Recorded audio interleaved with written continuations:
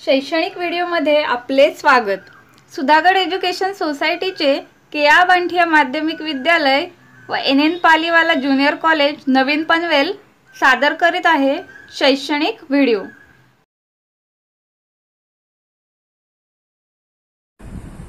नमस्कार.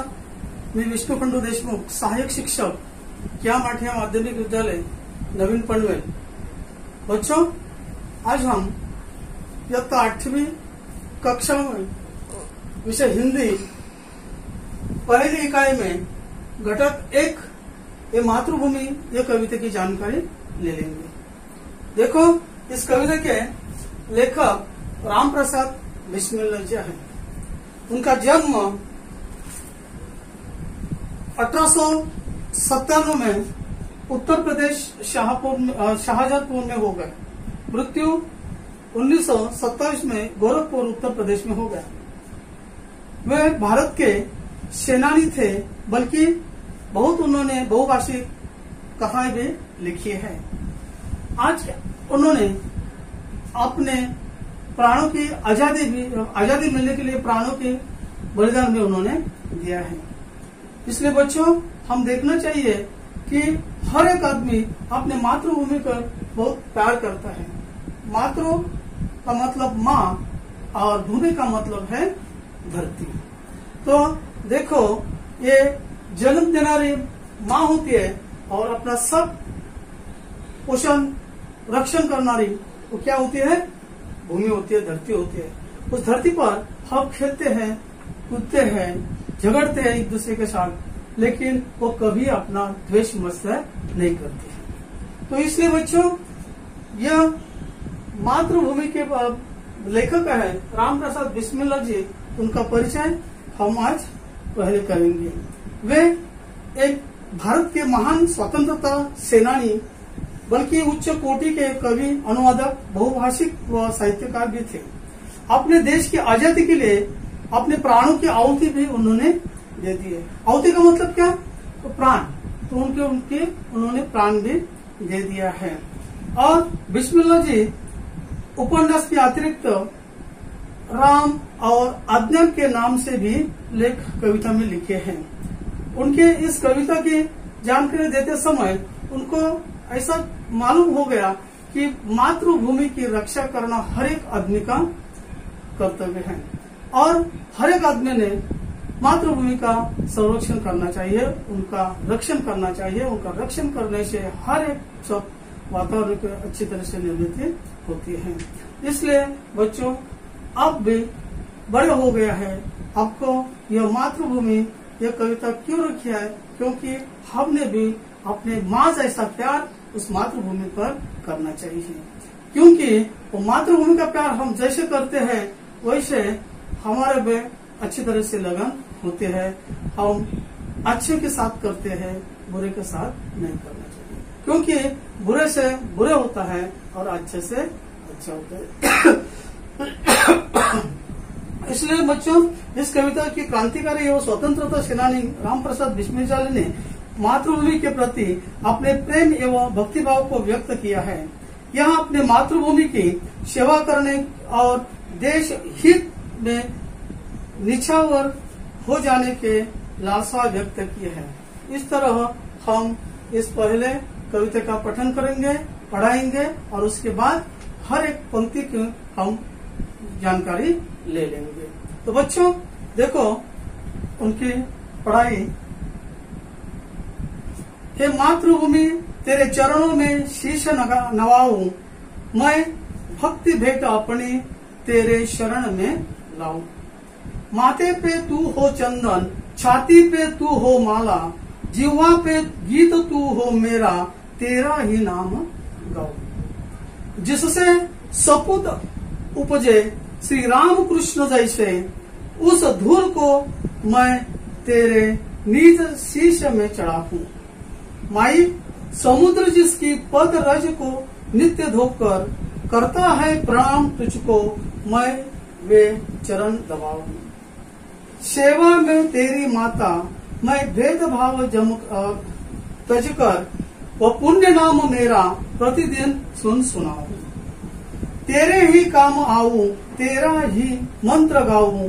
मन और देह तुम पर बलिदान मैं गाऊ। तो इस तरह इस पंक्तियाँ के राम प्रसाद जी ने अपने खुद को, उनके जो प्यार था, उस प्यार का स्फुट उन्होंने यहाँ पे किया है। तो इस तरह हम ये कविता में आए हुए जो कठिन शब्द है, नवाना, शीश जीवा राज, बलिदान, देह, इसकी भी जानकारी इस कविता से हमको मिलती है। इसलिए हम अभी दो दो पंक्तियों के बारे में देखेंगे। देखो, बच्चों, ये कविता है। इस कविता में हमको एक अच्छी तरह से बोध हो गया है। क्यों क्या हो गया? एक बोध हो गया क्योंकि हमने भी आपके ऊपर ये देश का कुछ न कुछ ऐसा कर हम देश के लिए कुछ कर्तव्य करना चाहिए। देश के लिए हम कुछ न कुछ करना चाहिए। इसकी जानकारी इस कविता से हमको मिल जाती है। हाँ देखो बच्चों, पहले दो पंक्तियों का जानकारी हम लेंगे। हे मातृभूमि, तेरे चरणों में शीश नवाऊ। नवाऊ ना का मतलब झुकना, उनके चरणों के पास जाना।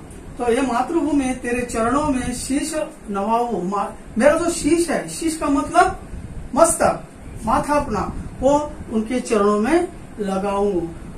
मैं भक्ति भेट अपनी तेरी शरण में लाऊ, और मैं आपको शरण आऊँगा। क्यों शरण आऊँगा? क्योंकि वो माता है, माता जैसी वो धरती है, और धरती के पास जाना हमारा कर्तव्य बनता है। तो आगे की दो पंक्तियाँ देखो। माथे पे तू हो चंदन। देखो क्या बताया उन्होंने, माथे पे तू हो चंदन। चंदन का मतलब तिलक। और वो तिलक क्यों लगाते हैं? क्योंकि हमको स्मरण होना चाहिए। याद आना चाहिए, क्या जाने छाती पे तू हो माला।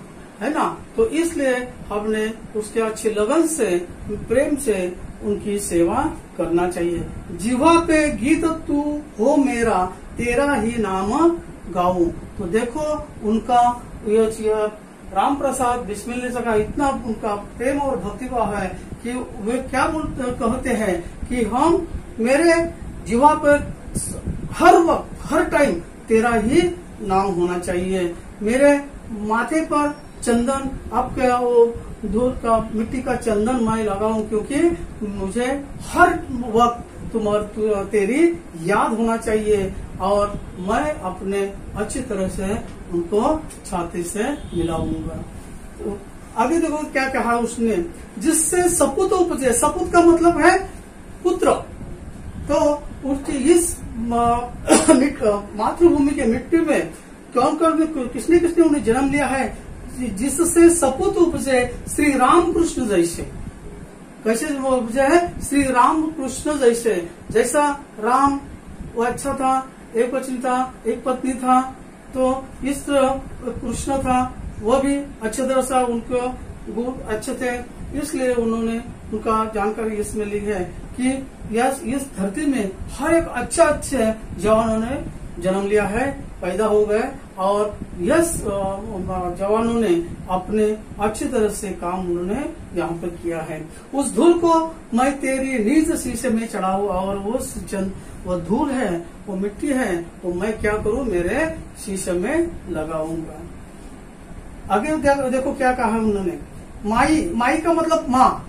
माई का मतलब माँ। माई समुद्र जिसकी पद रज को नित्य धोकर, वो माँ माँ होती है अपनी, वो माँ आपको हर दिन, हम छोटे होते हैं तो वो आपको सब धोती है साफ़ करती है, अच्छी तरह से रखती है। उस तरह वो समुद्र और सागर सब धरती को अच्छी तरह से हर दिन धोता है। करता प्रणाम तुम मुझको, मैं वे चरण दबा हूँ। तो देखो, वो उन्होंने अपने बड़े प्यार से राम प्रसाद डिस्मिजल ने कहा है। बच्चों, कि मैं, मुझे अपनी सेवा करने का मौका मुझे दे दो।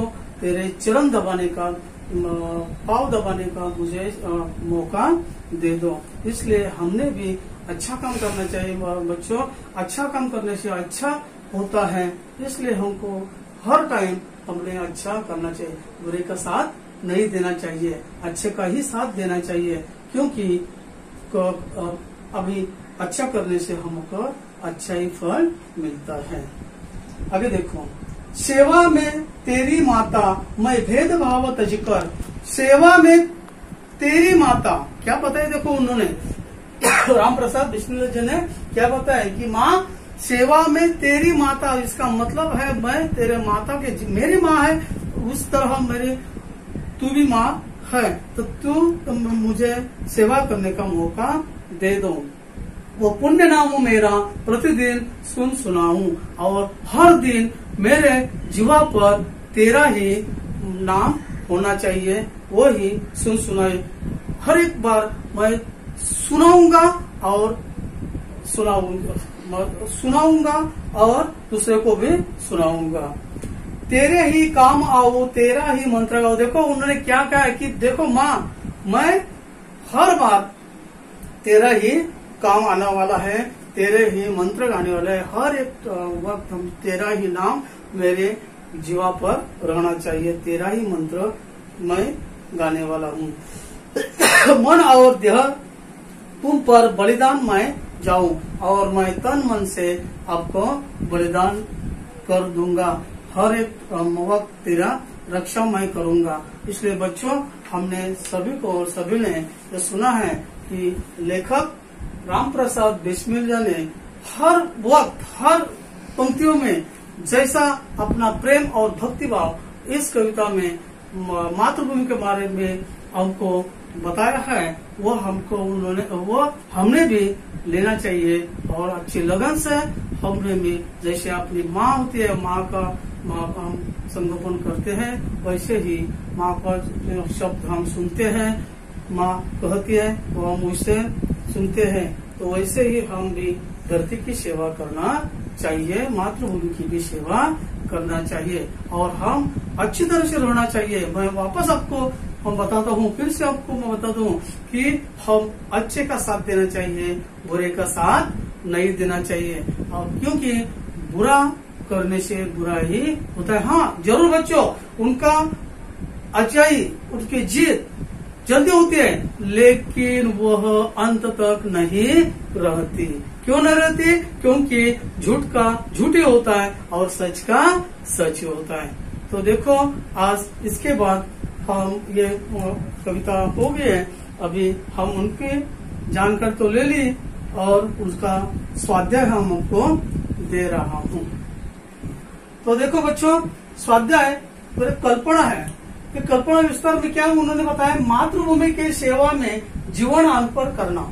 तो मातृभूमि की सेवा में जीवन अर्पण करना इसका मतलब है, ये निबंध कल्पना, काल्पनिक निबंध भी हो सकता है कि हम मातृभूमि के बारे में क्या क्या लिखने वाले है, क्योंकि माँ अपने पहल माँ होती है और दूसरी माँ होती है तो वो मातृभूमि होते हैं। इसलिए मातृभूमि के बारे में हमने क्या क्या करना चाहिए क्या क्या नहीं करना चाहिए, इसका सब हमने इस स्वाध्याय के बारे में लिखना चाहिए। और यह स्वाध्याय आप कल लिखे आ जाएंगे। Okay you understand yes sir आपले हक्काचे मराठी चॅनल रायगड ओवी न्यूज चॅनल. सदैव आपल्यासोबत रायगड ओवी न्यूज चॅनल.